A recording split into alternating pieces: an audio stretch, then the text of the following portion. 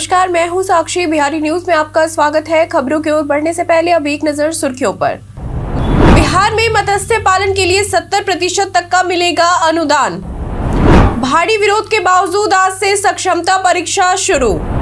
PMCH में ANM और JNM के सत्रों में नामांकन पर हटी रोक। मुजफ्फरपुर के लीची की विदेशों में भी बढ़ी डिमांड। चेन्नई सुपर किंग्स के खिलाड़ी ने आईपीएल से पहले जड़ा शतक।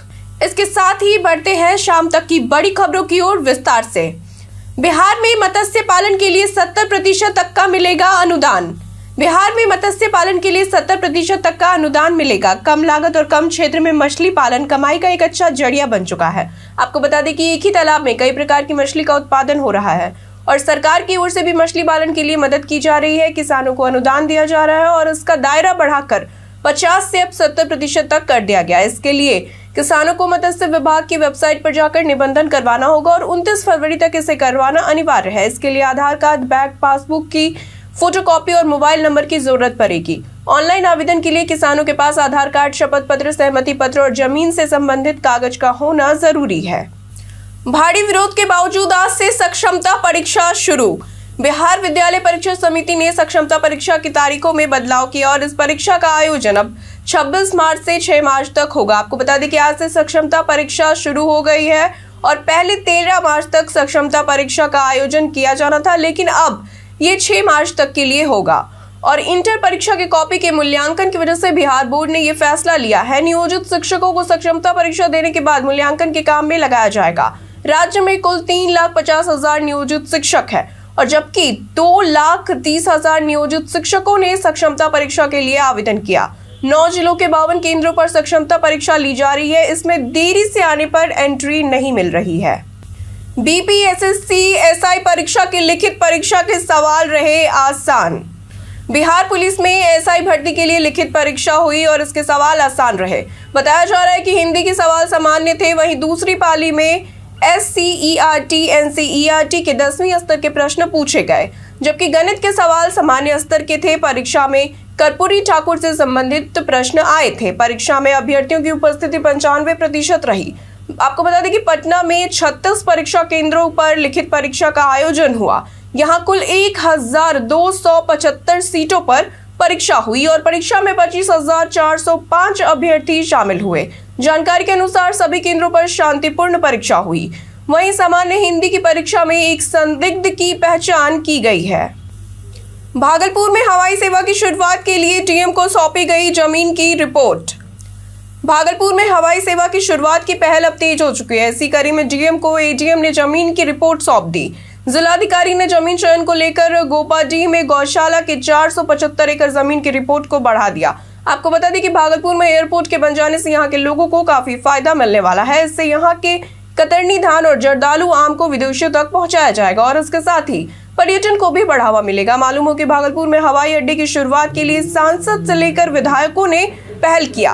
विधायक अजीत शर्मा ने कहा है कि यहाँ के सिल्क को विदेशों तक पहुँचाने के लिए एयरपोर्ट की ज़रूरत है। इससे लोगों के लिए रोज़गार के अवसर भी बढ़ेंगे। पीएमसीएच में एएनएम और जेएनएम के सत्रों में नामांकन पर हटी रोक। पीएमसीएच में एएनएम और जेएनएम के दोनों सत्रों में नामांकन पर रोक हटा दी गई है। आपको बता दें कि संस्थान के उन्नयन और नए निर्माण काम को देखते हुए नॉमिनेशन की प्रक्रिया पर रोक लगाई गई थी। इसे अब हटाया गया है सरकार के इस आदेश के बाद। शैक्षणिक सत्र 2023 और 24 में नामांकन को लेकर छात्र और छात्राएँ अपनी पढ़ाई को पूरी कर सकेंगे। स्वास्थ्य विभाग के पूर्व में जारी किए गए आदेश को हटाया गया। इसके बाद अब नया आदेश जारी हुआ है। मालूम हो कि पीएमसीएच को विश्व स्तरीय अस्पताल बनाया जा रहा है और यहाँ अस्पताल के उन्नयन का काम जारी है। इसे देखते हुए बीते साल 31 जनवरी को सत्र 2023-24 और साल 2024 और 25 में एएनएम और जीएनएम के कोर्स में दाखिले पर रोक थी। गांधी मैदान में स्वदेशी प्रोडक्ट का लगा मेला। बिहार के गया ज़िले के गांधी मैदान में स्वदेशी प्रोडक्ट का मेला लगाया गया है। यहाँ पर आम लोगों के लिए बीस रुपए से लेकर पचास हज़ार रुपए तक का सामान मिल रहा है। ये मेला 10 मार्च तक चलेगा। यहाँ कई लोग सामान को खरीदने के लिए पहुँच रहे हैं। लोगों के बीच मेला का क्रेज देखने को मिल रहा है। खाने पीने से लेकर मेले में लोगों के मनोरंजन की व्यवस्था है।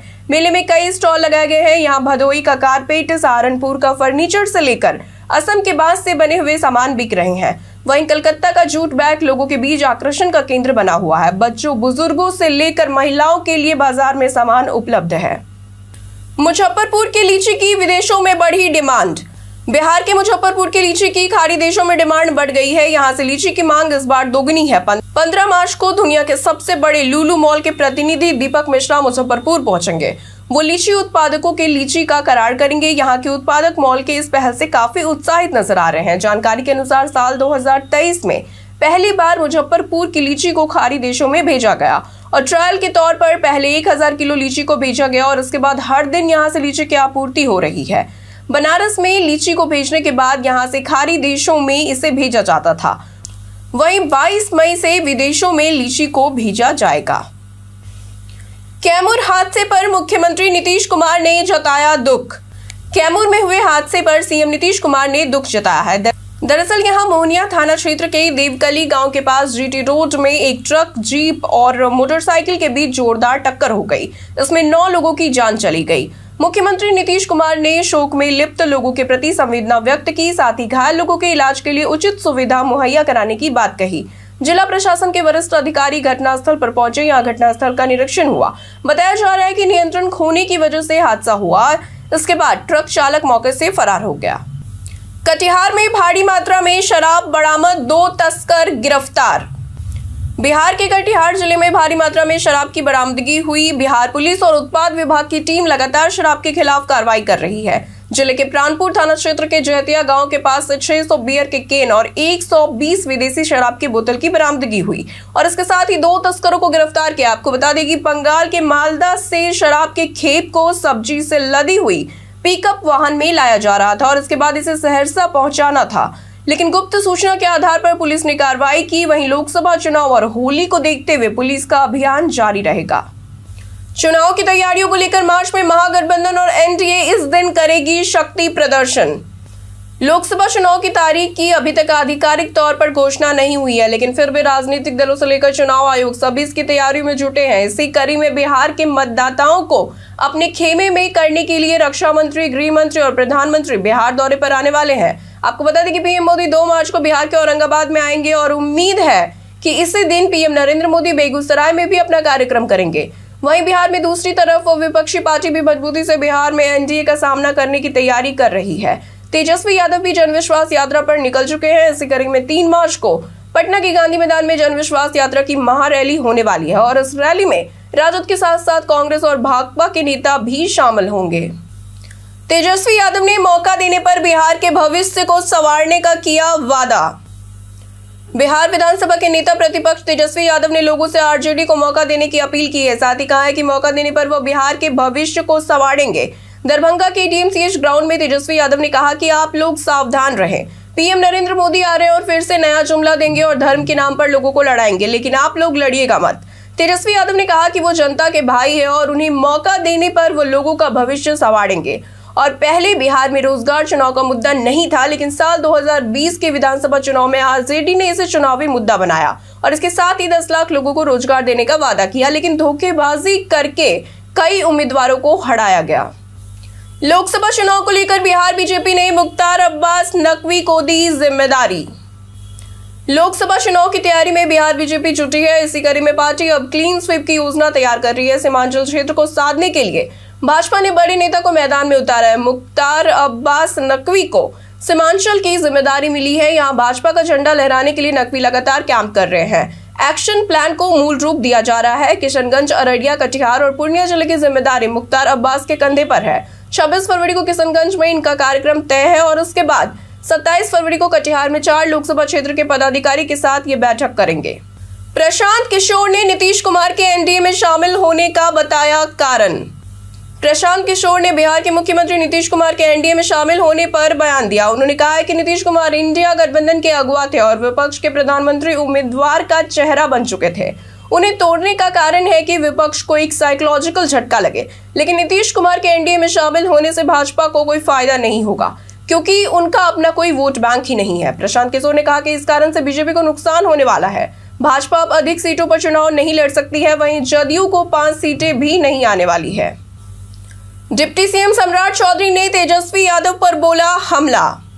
बिहार के डिप्टी सीएम सम्राट चौधरी ने बिहार विधानसभा के नेता प्रतिपक्ष तेजस्वी यादव पर हमला बोला। उन्होंने कहा कि तेजस्वी यादव को यह पता होना चाहिए कि उनके माता पिता ने बिहार पर पंद्रह साल तक राज किया और राज्य के इस दुर्दशा का कारण वही है। सम्राट चौधरी ने कहा कि राजद का मतलब है कि लड़ेगी अच्छा लेकिन दो दो लाख वोट से हारेगी। राजद नेता कह रहे हैं कि पार्टी उनके बाप की है, उनके पिता कहते थे कि पार्टी माई की है। सही बात यह है कि राजद माई और बाप की पार्टी है, लेकिन एनडीए के लिए जनता ही माँ और बाप है। भाजपा में कल कौन किसकी जगह आएगा, ये कोई नहीं जानता है, लेकिन राजद में लालू प्रसाद यादव ने अपनी पत्नी को गद्दी पर बैठा दिया। इसके बाद अपने बेटे को उप मुख्यमंत्री बनाया। चेन्नई सुपर किंग्स के खिलाड़ी ने आईपीएल से पहले जरा शतक। चेन्नई सुपर किंग्स के बल्लेबाज समीर रिजवी ने आईपीएल 2024 के पहले अपने टॉप फॉर्म हासिल किया। उत्तर प्रदेश के खिलाड़ी ने कानपुर में सौराष्ट्र के खिलाफ सीके नायडू ट्रॉफी में शानदार शतक जरा। उत्तर प्रदेश और सौराष्ट्र के बीच अंडर 23 टूर्नामेंट के क्वार्टर फाइनल में रिजवी ने 117 बॉल में एक रन बनाया। इस खेल में सौराष्ट्र ने टॉस जीतकर पहले गेंदबाजी का फैसला किया और उसके बाद रिजवी ने बल्लेबाजी के दौरान शानदार शतक लगाया। इनके शतक के कारण यूपी की टीम ने पहले दिन पाँच विकेट खोकर 426 रन अपने नाम किया। बीते दिन हमारे द्वारा पूछे गए सवाल का आप लोगों में से बहुत सारे लोगों ने अपना जवाब हमें हमारे कमेंट सेक्शन बॉक्स में लिखकर दिया है। जिन्होंने हमारे द्वारा पूछे गए सवाल का जवाब दिया है, उनके नाम है प्रभाकर कुशवाहा, पवन सिंह, संजीव कुमार, चंदौल कुमार, रवि कुमार, राम अमरेंद्र, अमर, परवीज, आलम, गोनर शर्मा, छोटू राजा, सोनू कुमार पासवान, गौरी कुमारी, नवल किशोर झा, श्याम बिहारी यादव, रंजीत मिश्रा, अर्जुन राम, नौशाद राजा, शदुल्ला पालवी, रविशंकर। इसके साथ ही बढ़ते हैं आज के सवाल की ओर। आज का हमारा सवाल है, क्या आप प्रशांत किशोर के बयान से सहमत है कि नीतीश कुमार के एनडीए में शामिल होने से कोई फ़ायदा नहीं मिलेगा? आप अपना जवाब हमें हमारे कमेंट सेक्शन बॉक्स में लिखकर ज़रूर बताएँ। आज के लिए इतना ही। बिहार के तमाम खबरों के साथ बने रहने के लिए देखते रहे बिहारी न्यूज़। और साथ ही, अगर आप यूट्यूब से देख रहे हैं तो चैनल को सब्सक्राइब करना। और अगर आप फेसबुक से देख रहे हैं तो पेज को लाइक करना नहीं भूलिए धन्यवाद।